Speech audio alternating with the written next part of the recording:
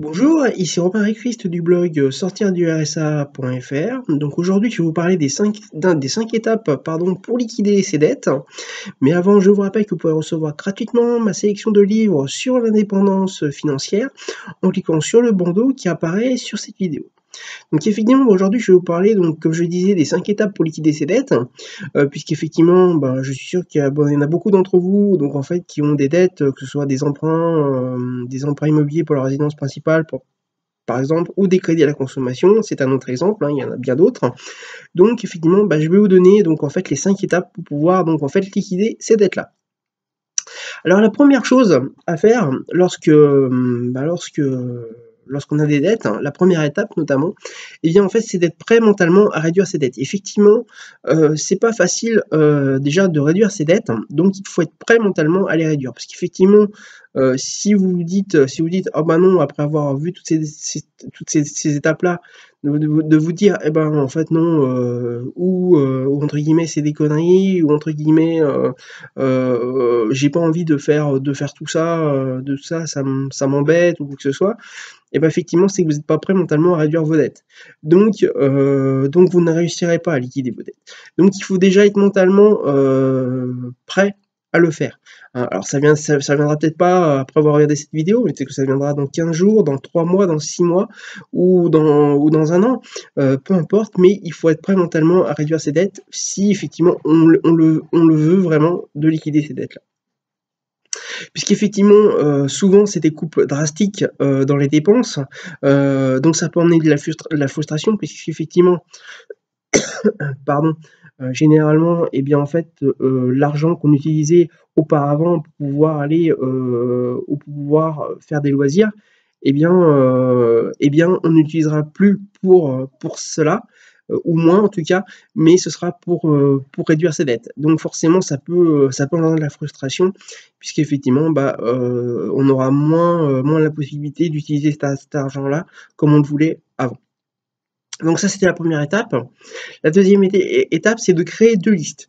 Alors effectivement, euh, pourquoi créer des listes? Et bien tout simplement pour qu'on puisse voir, euh, vous puissiez voir, eh bien en fait l'état général de vos, finances et de vos dettes. Donc effectivement, la première liste, euh, eh bien en fait, ça va être la liste de toutes vos dettes. Ne rien oublier. donc comme je vous dis tout à l'heure, les crédits immobiliers par résidence principale, les crédits à la consommation, les dettes, les amendes, les choses comme ça, enfin les taxes foncières, etc. Donc effectivement, euh, ne, euh, ne, pas, euh, ne pas mettre ça, bien le mettre et ne pas, et ne pas l'oublier, ne pas le prendre à la légère. effectivement, toutes les dettes, ben, en fait, toutes les dettes, tout ce que vous devez à d'autres personnes, ce sont des dettes, donc, donc n'hésitez pas à les mettre toutes. Ensuite, euh, la deuxième liste, ce sera la liste des dépenses incompressibles, que ce soit le loyer, l'électricité, la nourriture, etc. Euh, effectivement, euh, tout ça, c'est des dépenses incompressibles. alors bien sûr, ne mettez pas les loisirs, par exemple, ça effectivement c'est évitable, mais tout ce qui est bah, donc loyer, électricité, gaz, nourriture, comme je viens de le dire, donc et ce sont des dépenses incompressibles. Donc effectivement, quand je dis incompressible, ce sont donc bien sûr euh, toutes les dépenses euh, bah, que vous allez être obligé de faire et que vous êtes obligé de faire tous les mois ou tous les ans, les assurances, etc.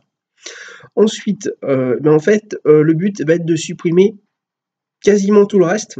Alors bien sûr, il faudra vous faire plaisir de temps en temps, mais tout ce qui est resto, coiffeur, etc., tout ce qui n'est pas indispensable pourra être supprimé. Alors faites bien sûr attention si vous avez des enfants, quand même à pas trop restreindre vos enfants. C'est quand même tout ce qui est par exemple l'activité sportive, etc. Euh, essayez de ne pas trop, euh, de ne pas trop non plus les frustrer eux. Mais effectivement, bah, plutôt que d'aller euh, d'aller au cinéma un dimanche quand il fait beau, eh bien, préférez plutôt les parcs, les parcs, les squares, etc. qui sont gratuits ou les promenades, les promenades à gauche ou à droite près de chez vous. Donc ça, c'est la deuxième étape. La troisième étape, il va être de négocier avec ses créanciers une fois que vous avez fait cette liste de dettes, notamment. Euh, effectivement, une fois que vous avez fait la liste de dettes, vous avez donc le nom de vos créanciers.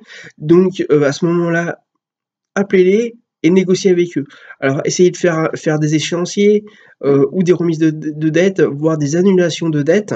Hein, effectivement, euh, effectivement euh, ben, en fait, des, créanciers peuvent annuler les dettes ou, ou faire une remise sur cette dette-là. Ça fera toujours ça de moins à payer. Si effectivement ben, votre, votre, créancier ne veut pas, ben, ne veut pas annuler votre dette, mais par contre peut la peut en annuler une partie euh, ou, euh, ou pas, et eh bien à ce moment-là, euh, prenez des échéanciers avec eux, alors des échéanciers qui sont tenables, effectivement, que vous pouvez respecter, puisqu'effectivement, si vous prenez un échéancier et que vous ne le respectez pas, ça n'avance à rien. Donc, faites des échéanciers qui vous permettra de, de, les respecter. Et une dernière chose, notamment pour les emprunts, ou éventuellement les crédits à la consommation aussi, mais plutôt pour les emprunts euh, immobiliers, notamment pour la résidence principale, essayez de renégocier les emprunts, que ce soit avec votre banque ou que ce soit avec d'autres banques, ou alors euh, éventuellement euh, essayez de voir si effectivement bah, avec, avec des sociétés qui, qui peuvent reprendre des crédits, qui peuvent racheter des crédits, voir si c'est plus intéressant pour vous ou pas, mais essayez au moins de renégocier avec votre banque ou avec d'autres banques qui, qui puissent racheter euh, vos emprunts pour pouvoir éventuellement allonger, euh, euh, bah, votre délai d'emprunt, mais en minimisant les, mensualités pour vous permettre eh ben, en fait de, bah, de, permettre de pouvoir respirer et de rester au-dessus de la ligne de, de flottaison. Ensuite, quatrième étape et avant-dernière étape, c'est d'épargner. Effectivement, que vous ayez encore des dettes ou que vous n'en ayez plus, euh, l'important est d'épargner également. Hein, effectivement, il faut qu'absolument euh, tous les mois, vous, euh, vous gardiez une partie de, votre, de, votre, de vos salaires ou de vos minimums sociaux pour pouvoir épargner. D'abord, d'abord dans, un, dans une épargne de précaution, donc qui vous permettra en cas de coup dur ou en cas de panne ou de remplacement de quelque chose que vous puissiez donc euh, pouvoir euh, euh, pouvoir euh, donc euh, l'utiliser, euh, utiliser cette épargne de précaution. et ensuite, cette épargne vous permettra d'investir. Et c'est là effectivement on va, on va en venir à la cinquième étape. Cette épargne, ensuite, suite à cette épargne de précaution, vous permettra d'investir et d'acheter des actifs, qui est la cinquième et dernière étape, puisqu'effectivement, le but ultime ne sera plus d'acheter des dettes, mais d'acheter des, des, actifs, que ce soit des, des, actions boursières, que ce soit de l'immobilier locatif, ou que ce soit d'autres d'autres actifs euh, qui vous rapportera de l'argent tous les mois au lieu de vous en faire, euh, de vous en faire sortir et euh, de vous coûter de l'argent tous les mois tout simplement ou tous les jours. Voilà, c'était Romain Christ du blog sortirdursa.fr. Je vous rappelle que vous pouvez recevoir gratuitement ma sélection de livres sur l'indépendance financière en cliquant sur le bandeau qui apparaît sur cette vidéo. Je vous, rappelle également que vous pouvez vous abonner à cette chaîne YouTube en cliquant sur le bouton s'abonner qui est en bas à droite de la vidéo.